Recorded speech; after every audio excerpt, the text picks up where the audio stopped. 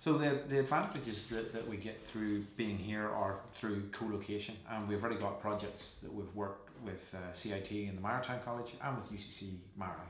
Um, and we've brought staff in from uh, there. In fact, some of our staff are ex-UCC MaREI employees as well, including myself. So the, it's been a good relationship from that. Um, the mentorship network is very good. Um, and also you're um, a